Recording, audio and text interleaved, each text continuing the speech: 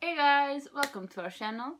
We are Fan Club React, and today we are bringing to attention how dumb Americans actually are. So, to explain this affirmation, confirmation, we should explain we are Portuguese, not Brazilian, but from Portugal, which is in Europe next to Spain. We found a video that is thing, American things that we as European do not understand. And we we both follow a lot of American people. So We we'll love American see. people. what the? Of course. so we will see if we know these things or and if we understand what they are. So yeah, let's do this. I'm scared. And also, I know that we in Portugal learn more about American history than Americans learn about their history. Mm-hmm. So, While the I culture of the United on. States is exported all over the world in Uh, films yeah, and United on States, TV, because and everyone also needs, abides uh, by from some laws America, and it's practices that many so, yeah. consider unusual. Yeah. Europeans Even in particular seem to have a hard time American. wrapping from child beauty pageants to gun laws. I just Let's love take the a look gun- at some the gun like American there, things in the that middle. Mm. Europeans can't Yeah. understand. Sick of commercials. If you're a European enjoying a cozy night in on the couch in America, some of the stuff on TV may shock and ads are surprise so you. weird. And no, I'm not talking Uh, I about mean, we keeping ha- with the we also have, Kardashians. like, I'm talking about here, no? commercials, which arrive Nah. so No, but frequently they it makes have, watching like, TV feel uh, almost I've seen on unbearable TV, to anyone like, unaccustomed to it. Things, Seal and the end, sleep there's like, instantly. call this Use number it. to get Especially pharmaceutical commercials, which usually show grump like Ambien ad. As well as abnormal behaviors such as Oh, we being don't have irritable or that. We aggressively just normal, buy confusion, this. agitation, and hallucinations can occur. Yeah. Don't take it with We alcohol, as it may have increase these these behaviors. kinds Allergic reactions of such as shortness of ads breath, swelling on of the your tongue, throat may radio. occur, and in Yes. many cases may be fatal. Huge business. And We in don't America, have whether white it's right or wrong, brands. the True. Oh, rules yeah. tend to follow No. the money. We do have Europeans might inform actually like need a that, pill for the but headache all those TV, ads give it's them. always They the- cause dizziness, loss of the love, health, official other powers, ones. and a violent hatred of cheese. Yeah, no, in TV, not even the officials. No It's place like home. You can buy Let's say in you're a anywhere. European who's Plus, you just have to moved go over to, to like, America. the pharmacy and You get found a yeah. house in a nice residential And neighborhood. mostly you have to you're go going to through the your doctor, and bills. the doctor Rent, will sign water, a gas, paper electric. saying you can all buy seems in this. order. But wait a second. What's a homeowners Homeowner? association What? fee? To a native, that's a pretty obvious question. But for Europeans, it's an unwelcome right now. surprise. These fees contributes to the local homeowners association, which is oh. somewhat like a neighborhood watch, but managing funds to be reinvested into the community. Oh, it goes towards do you things know, like, like, residential those rich maintenance and common spaces, which keeps residents close? happy and property values up. Yeah. With around 24% of all Americans living dog. under a vacant vacation days. The USA has one of the largest economies in the world. A Do I have to tremendous economy. U.S. workers are not entitled to mandatory paid vacation Excuse at all. fucking me? Usually, the issue of paid leave is left at the discretion of employers. And yes, that does include national holidays. According to research from the U.S. Bureau of Labor Statistics, in 2017, only 77% of American workers had access to paid vacation. Now, the reason that might leave Europeans slackjawed is because mandatory paid vacation time in Europe starts at four doesn't. weeks. No. In fact, America is one of the only You Western countries where law doesn't enforce companies to no, give its employees mandatory paid vacation months time. Yeah. Don't get- believe me? Take a look at this map like, breaking down mandatory paid vacation time by country. Florida? Man, if the American states could be looked at as a dysfunctional family, then Florida would be the weird uncle who once ran away with the circus Yeah, and wrestled a tiger. crazy, the Sunshine State is the third most populous state in the USA and receives over 100 million visitors year on year. With so many people living between Miami Beach, Disneyland, and Pensacola, a little crazy is bound to be found on the fringes of society.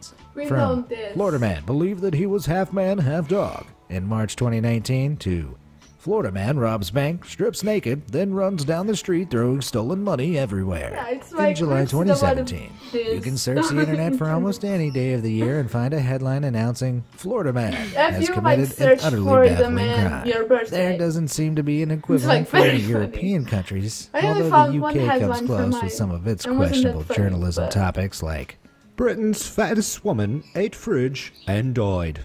Let me know the funniest Jesus! looking Someone videos eats a you've medal. ever seen at stories at bmas.com.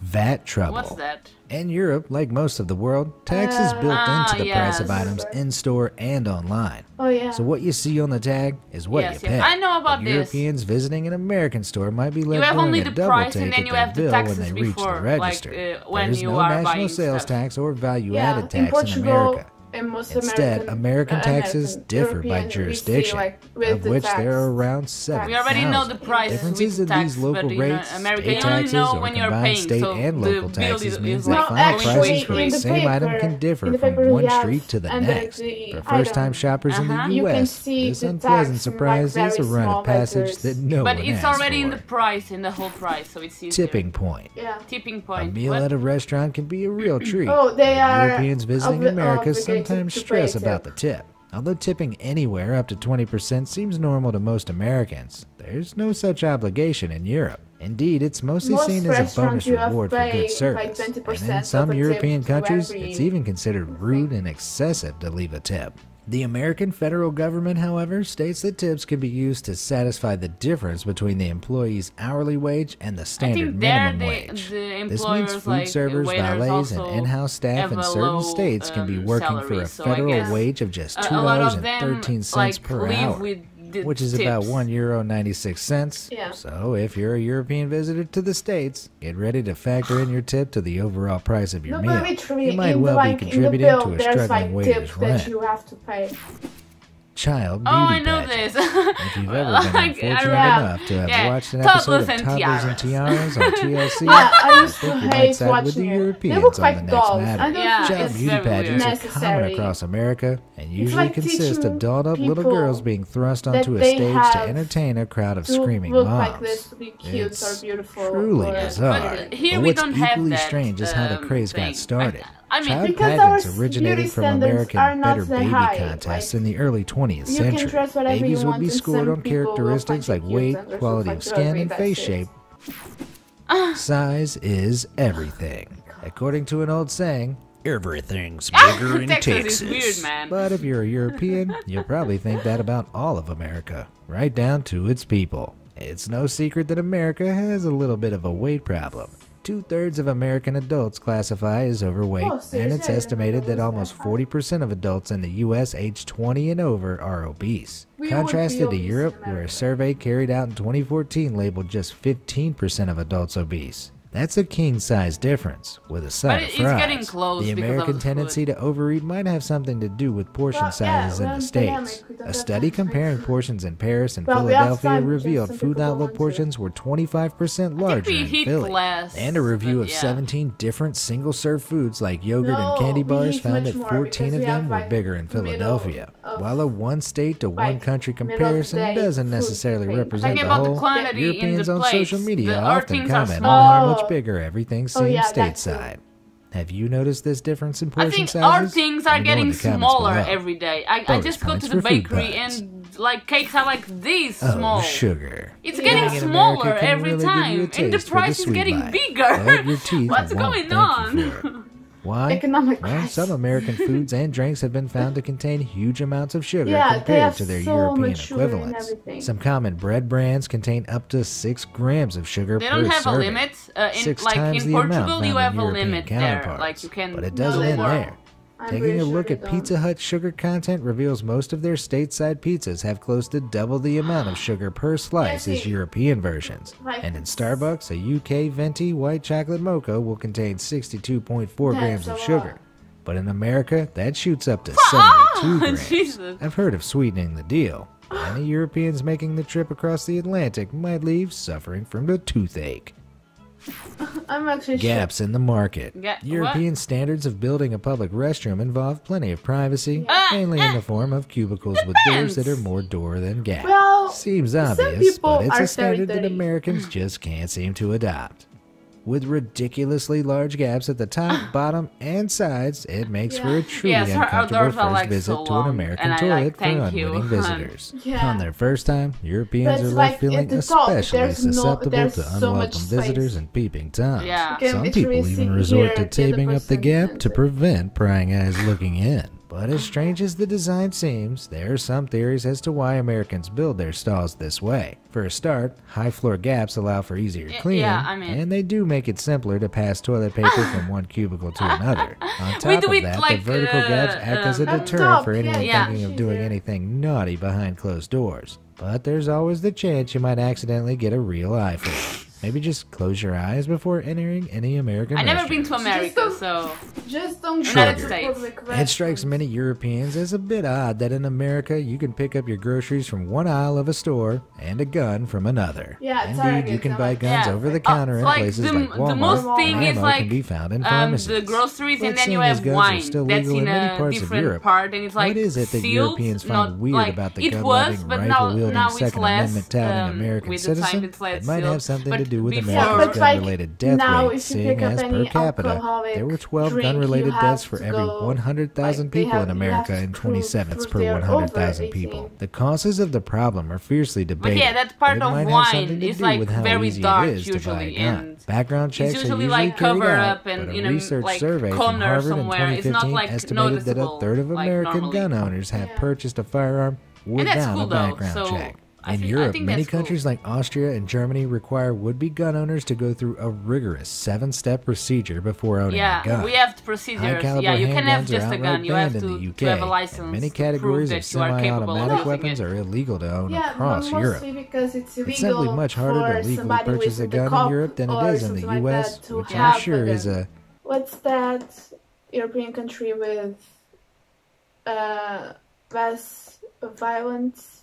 I think Portugal is pretty good. I think I saw the rank, and Portugal was one of the least with like violence. Or and Sweden. Yeah. Sweden is also good.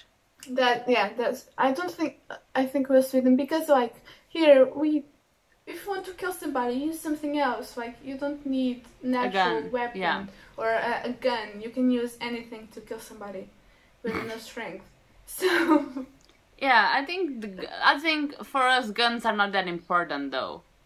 no, Like we don't like guns. It's just when you see police like uh, with guns, you're like, oh shit, shit's going real. Yeah. Someone's getting shot, baby. As a teacher, future teacher, for me, guns are like off table completely. For me, dialogue is like the main like strength ever. So for me, not Obviously. violence. It's like no, not guns, everything. Um, we're going to talk this through, and we're going to find the source of the problem. Yeah. So for me, guns is like like for me.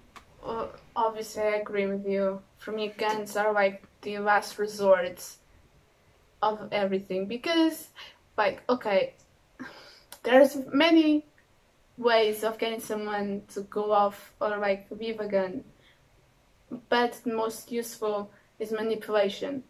I think I think because uh, uh, everyone has a gun in the United States. Every like the guns are like um it's it's like a fork. Yeah. It's like you like yeah. psh, I'm just going to shoot this this dude, and it's so normalized that everyone has a gun. Everyone can shoot each other. Everyone can kill each other. It's like for me, it's so weird. Yeah, I know like that kids in America already have guns and already know how to shoot them and how to like recoil happens. And you And, all like- get surprised about the school shooting. Obviously, you you all Yeah.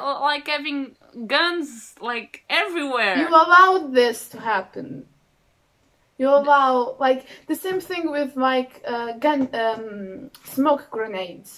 Do Mm-hmm. you know how toxic like smoke is? It's like intensely toxic.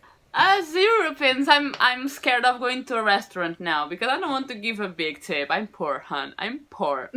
I don't want to, like. Why do you think they always uh, order from home? Because then in the app they take the tip right away, and then if you if they get if, and some people when they arrive the drivers they give them a bigger tip because they are all rich.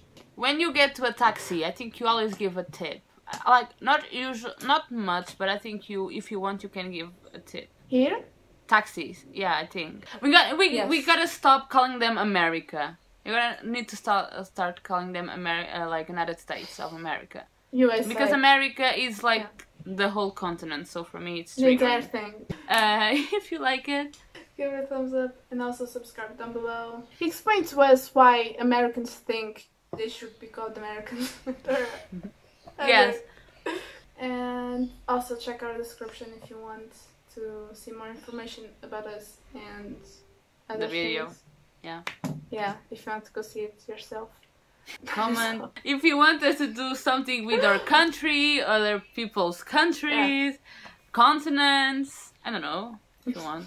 Anyway, Geographic lesson that we will not be able to give. stay safe, get vaccinated, and yeah. Yeah. bye. Goodbye.